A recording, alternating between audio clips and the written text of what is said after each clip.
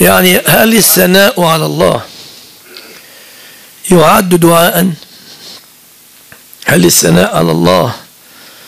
أنت كريم أنت الكريم. هل هذا يعني يا رب ارزقني؟ قد يعني في بعض المواطن وفي أبيات الشعر العرب. إذا ما أثنى عليك المرء يوما أذكر حاجتي أم قد كفاني؟ ليس كذلك. أذكر حاجتي أم قد كفاني؟ حباؤك. بعضهم يقرأ حياؤك. لا حباؤك يعني عطاءك أذكر حاجتي أم قد كفاني؟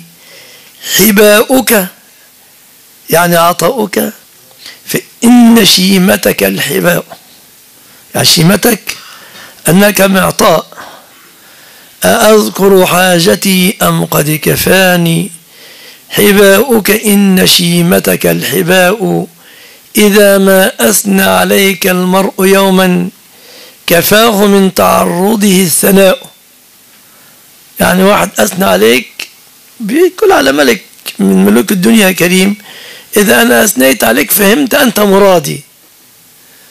فإن يا رب أنت أرحم الراحمين. أليس هذا متضمن دعاء؟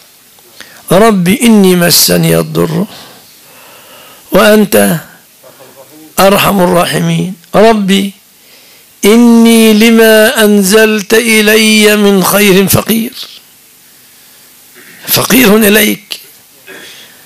كذلك لا إله إلا أنت. سبحانك. إني كنت من الظالمين. وصف حال نفسه لربه. أنا ظالم. أنا مرتكب للظلم. بعترف لربي بذلك. أعترف لربي بذلك. ففي بعض المواطن الثناء يكون دعاء.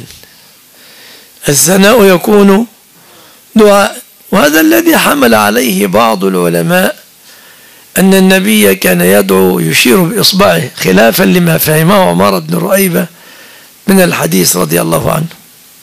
قالوا يعني عمر يقول كان الرسول يدعو لا يزيد على أن يشير بإصبعه. ففهم بعض العلماء ذلك أنها في مقام التوحيد بمعنى. ارزقني أنت الرزاق. لا أمد يدي لأحد. أنت الرزاق. فلازم إذا قلت أنت الرزاق وحدك فهو دعاء. أنت خير الناصرين. النصر فأشير بإصبع علامة علامة التوحيد في هذا الباب. لا ناصر إلا أنت لا شافي. اشفني أنت الشافي.